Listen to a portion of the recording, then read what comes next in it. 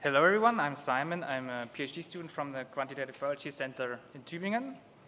And I'm going to present you cluster scalable pangenome graph construction with NF core pangenome. Hmm. Okay.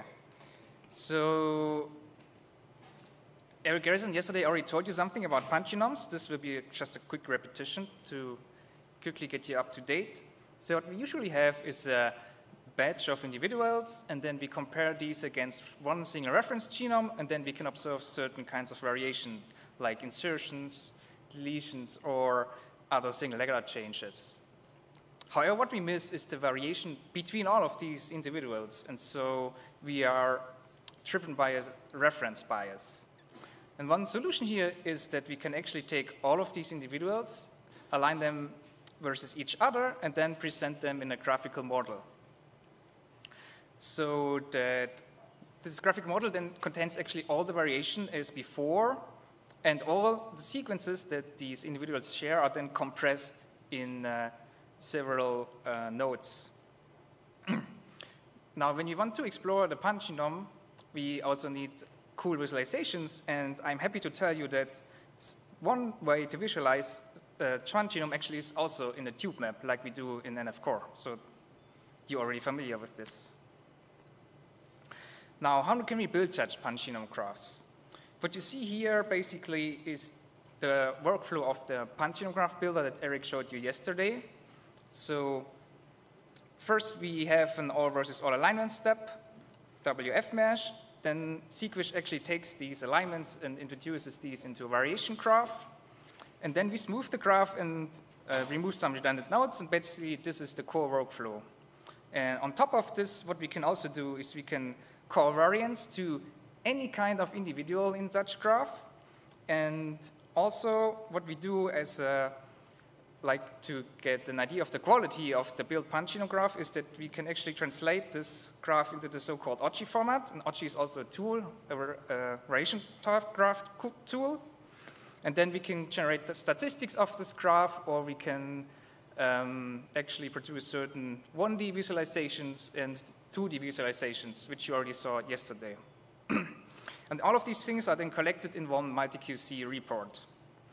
Yeah, and this is basically what's happening in this pangenome graph builder pipeline. However, it is written in bash, and so I took the opportunity to actually put this into NF Core using Nextflow.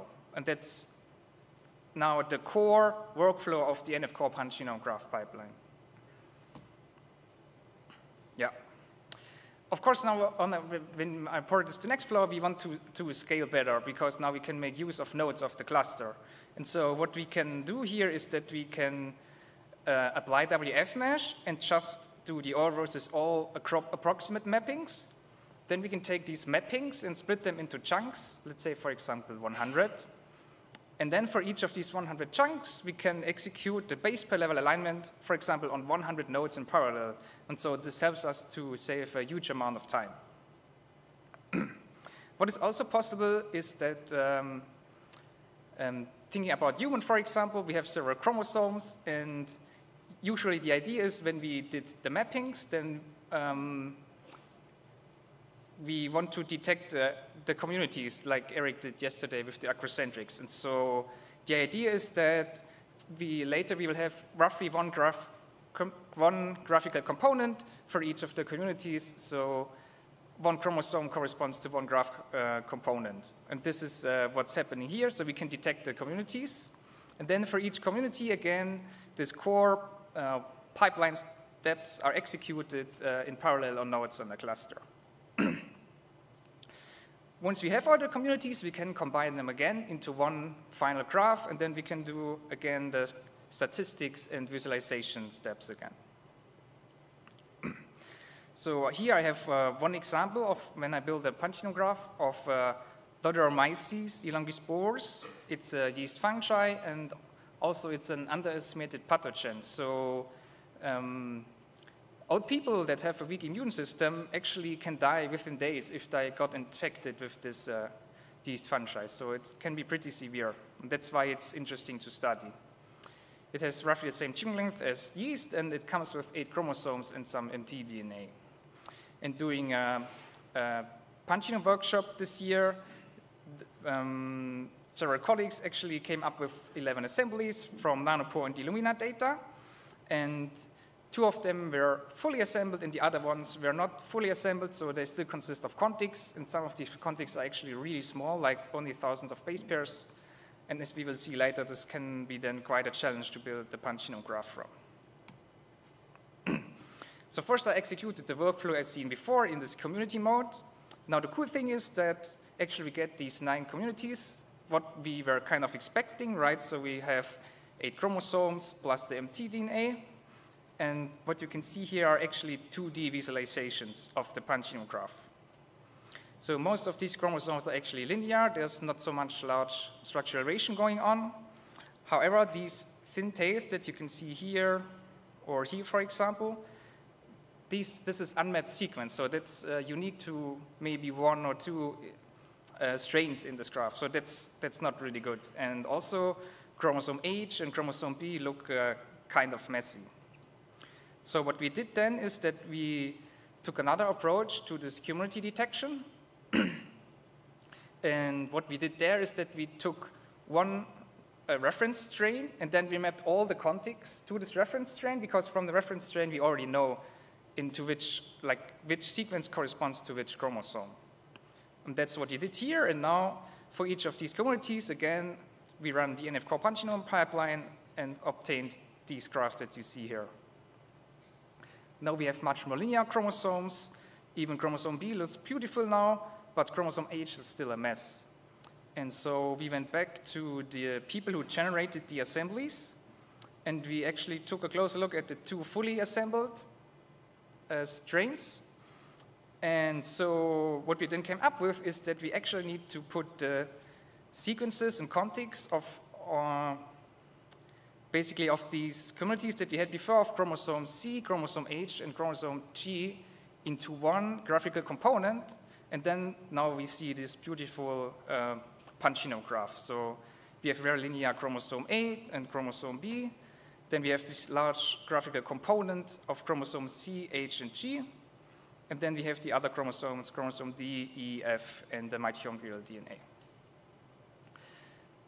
And this chromosome community detection algorithm in the beginning here maybe didn't work as well as we expected because the contigs are such a large, like different size from several million base pairs to just 1,000 base pairs, and so the cluster algorithm might have had difficulties there. Now, how does the pipeline scale?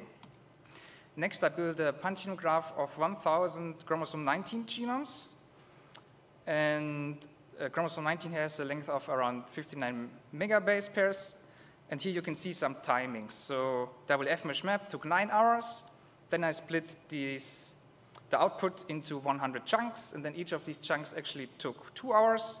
The sequence step took uh, one day and 13 hours, and SmoothXG finished within 15 hours. So that was actually surprisingly doable.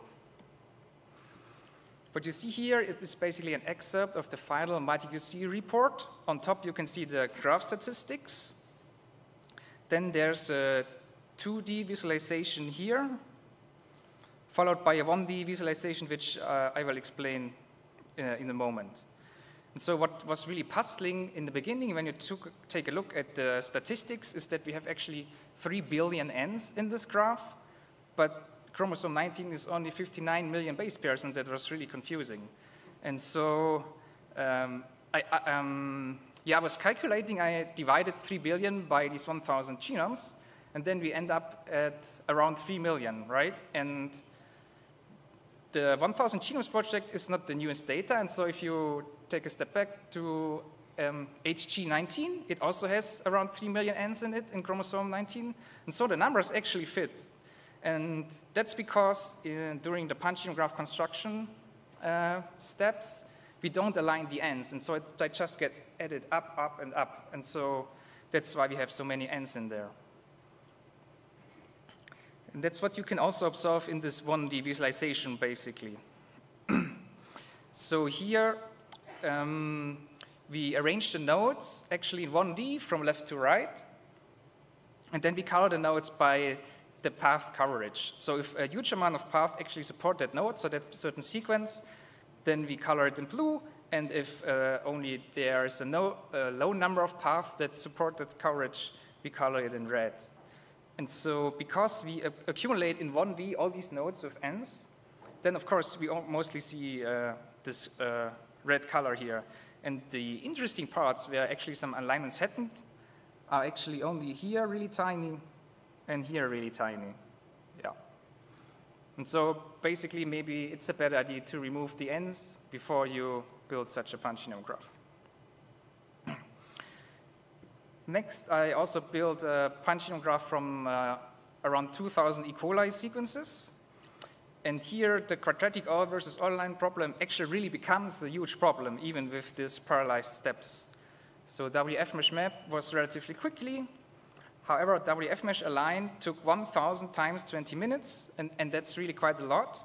And in the end, I got PAF files of around uh, over 600 gigabytes on disk.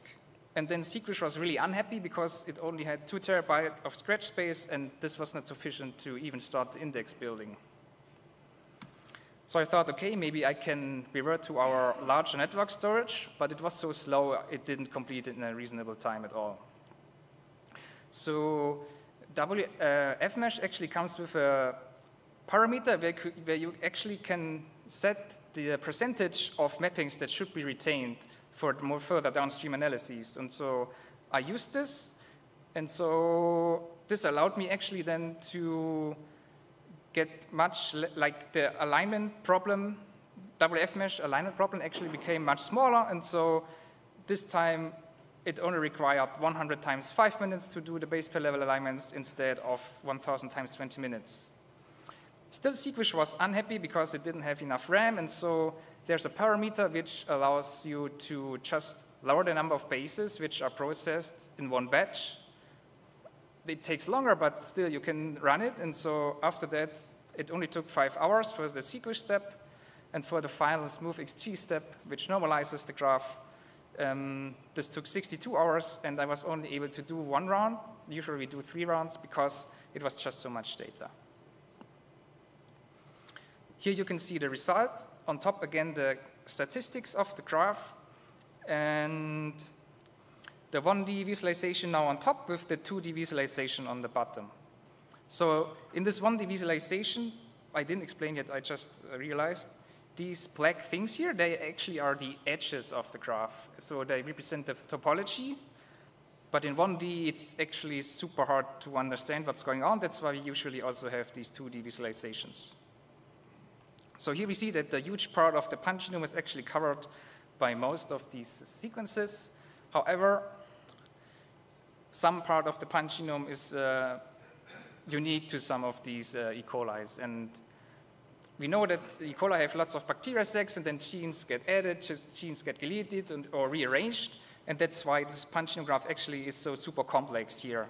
And that's also why here in this 2D visualization, you have this large blob, because basically if you have so many sequences, every sequence somehow interacts with another sequence, but at different places, and that's why it looks so complex, and that's uh, why Phil yesterday, I think, was so scared of this huge blob, because it's crazy, but that's just reflecting biology. What you see here, oh, sorry, there's the mouse. What you can see here on the left-hand side um, are some extra graph components, and apparently they were not similar enough to be put into this huge graph. Yeah, that was really quick, I think. Um, that's already everything I wanted to tell you, and I'm happy to take questions. Excellent. Thank you very much, Simon. Um, there are there are two questions in the Slack, but we're actually running a little short on time. If you don't mind answering those in Slack.